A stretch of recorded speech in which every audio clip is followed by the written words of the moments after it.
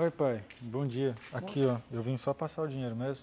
É os 500 reais das contas que ficaram faltando. Bom dia, filho. Que dinheiro é esse? Uai, é o dinheiro que a Sandra e o senhor me cobram, segundo ela, que é para pagar as contas, energia, água, internet.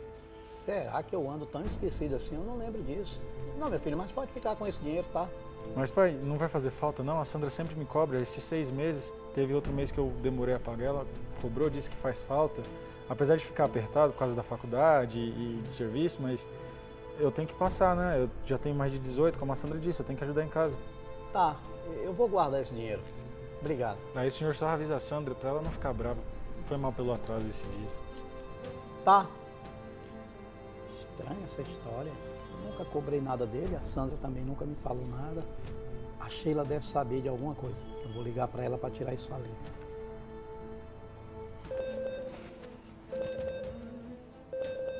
Benedito? Oi, Benedito.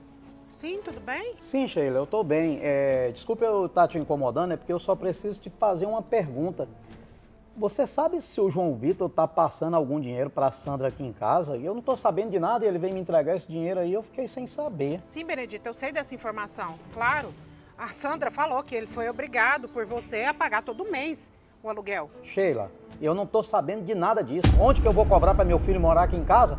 Onde é que já se viu isso, Sheila? Você sabe que a gente separou por problema nosso, mas você, você sabe que eu sempre fui um pai presente, gosto muito do meu filho e eu não tô sabendo dessa história não. Vou falar com a Sandra. Lógico.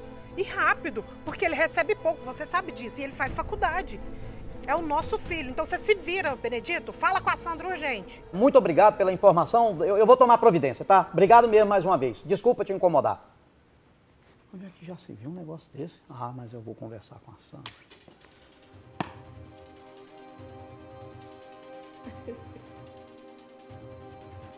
Aqui, Sandra, o dinheiro que o João Vitor mandou te entregar. Ah, meu bem, não tô te entendendo não. Que dinheiro é esse? Ah, Sandra, para com isso. Dinheiro que tu tá cobrando dele há seis meses. E outra coisa, tu tá gastando esse dinheiro com o quê? Porque aqui em casa não é. Ah, Benedito, tô te entendendo não. ué. Vocês agora deu pra mentir? O que, que é isso? Seu filho mente, você, tá acreditando? Sandra, para de cinismo. Inclusive, a mãe dele também tá sabendo e tava achando que eu tava participando disso aí. E eu não tenho nada a ver com isso, tá? Como é que eu vou cobrar para meu filho morar na minha própria casa? Onde é que já se viu isso, Sandra? Benedito, a mãe dele é um problema seu, não é meu. E outra, mais do que é justo o seu filho ajudar na casa. Ele é maior, ele come, ele bebe, lava roupa. Então, quer dizer, toma banho, tem que ajudar mesmo, apagar água, luz.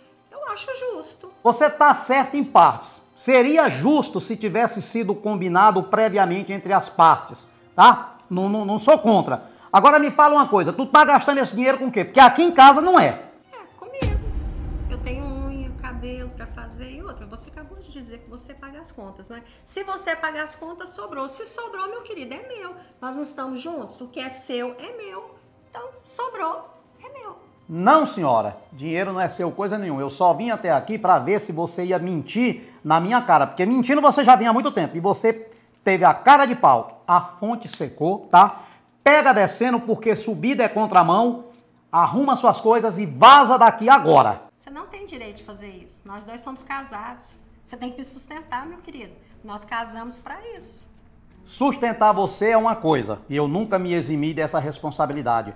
Agora, sustentar sua falta de caráter jamais, entendeu? Quando eu casei com você, eu não sabia que você era essa mau caráter. Nossa, ai, doeu. Para com isso, Benedito. Ah, você já é grande, rapaz. Toma tipo. Essa conversa aqui tá esticando mais do que cabo de estilingue, sabia? Vaza! Você vai sentir falta, viu, meu querido? Era só o que me faltava, eu senti falta de uma mulher que me engana dentro da minha própria casa, tirando dinheiro do meu filho.